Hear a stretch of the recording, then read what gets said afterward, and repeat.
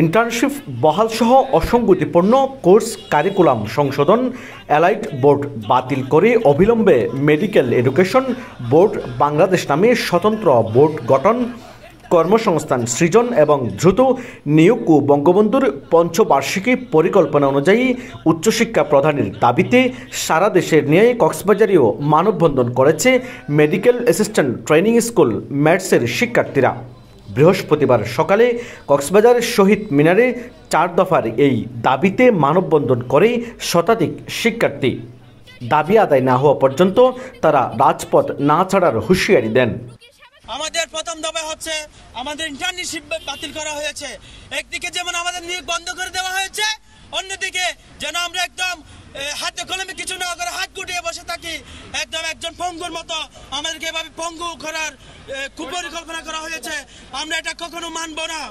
এ সময় ম্যাথস শিক্ষার্থীদের দাবি যৌক্তিক বলে জানান সংশ্লিষ্টরা।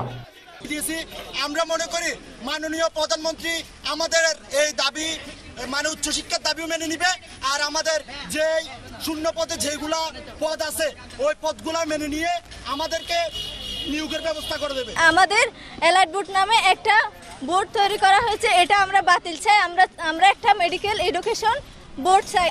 পরে জেলা প্রশাসকের কাছে স্মারকলিপি প্রদান করা হয়।